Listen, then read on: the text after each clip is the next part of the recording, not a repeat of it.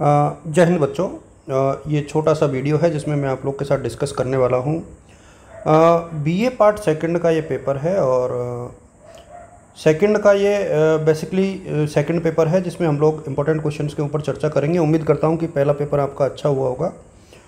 और, वही तीन सेक्शन है ए बी और सी और, जैसा कि मैंने पहले कहा था कि प्राइवेट और रेगुलर का अलग अलग पेपर आता है।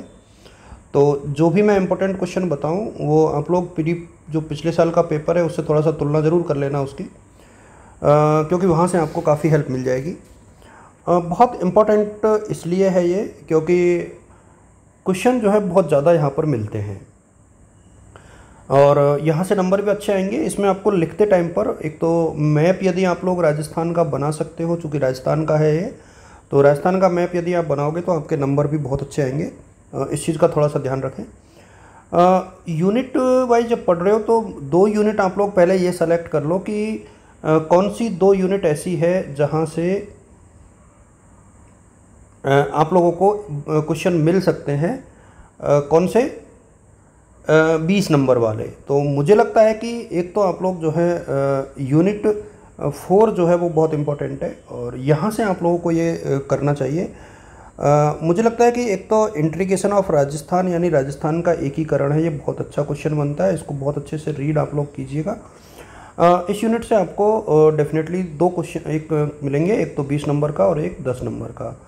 तो उसी हिसाब से आप इसको तैयार की, करोगे तो मुझे लगता है कि एक तो राजस्थान का एकीकरण और एक जो है, इसमें मुझे जो लगता है वो ये है कि peasant movement in Rajasthan with special reference to Bijolia और बराड़।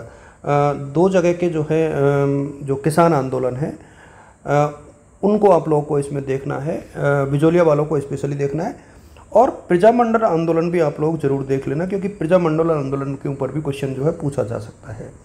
यूनिट फिफ्थ जो है, वहाँ से भी एक क्वेश्चन बड़ा आने की संभावना है, और बहुत सिंपल तरीके से मैं आपको बताऊँ, देखो पहला क्वेश्चन तो यही आएगा कि राजस्थान के जो है चित्रकला की विभिन्न जो शैली, जो स्कूल हैं, वो कौन कौन से हैं, जिसमें बूंदी बहुत इम्पोर्टेंट है राजस्थानी पेंटिंग की।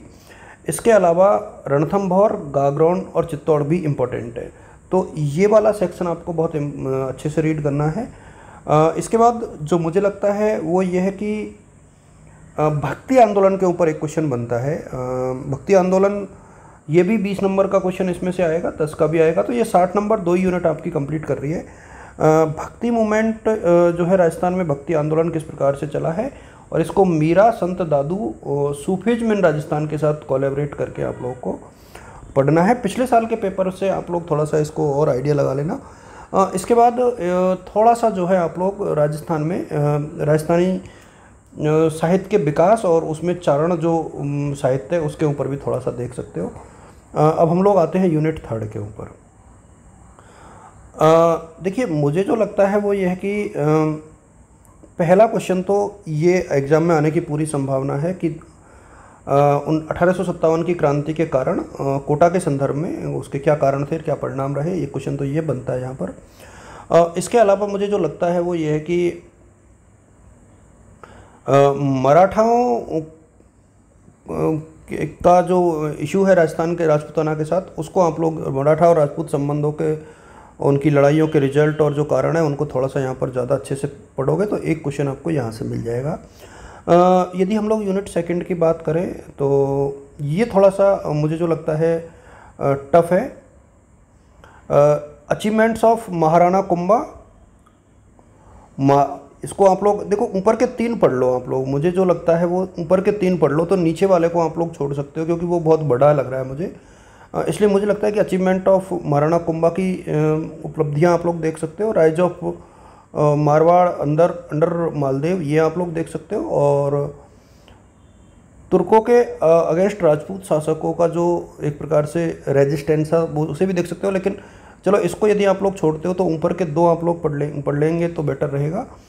और उसके बाद जो मुझे लगता है थोड़ा सा आपको महाराणा प्रताप ऑफ़ मेवाड़ एंड राव चंद्रसेन के ऊपर भी थोड़ा सा आप लोग देख सकते हो। तो ये क्वेश्चन है जो मेरे हिसाब में काफ़ी इंपॉर्टेंट बनते हैं। यूनिट फ़र्स्ट की यदि हम लोग बात करें तो various theories of origin of Rajput और राजपूतों के उद्भव के सिद्धांत आप लोग को अच्छे से रीड करने चाहिए। और एक पहला जो टॉपिक है ना an outline to pro historic culture इसमें कालीबंगा, आहड़, बैराट से संबंधित जो सभ्यताएँ उनको, उनकी जो साइट्स हैं, उनको देखें। और मैप राजस्थान का आप लोग इस पूरे पेपर में बनाओगे तो ये पेपर अच्छा होगा और अच्छे नंबर आएँगे। आप सभी को शुभकामनाएँ wishing you all the best और गुड लक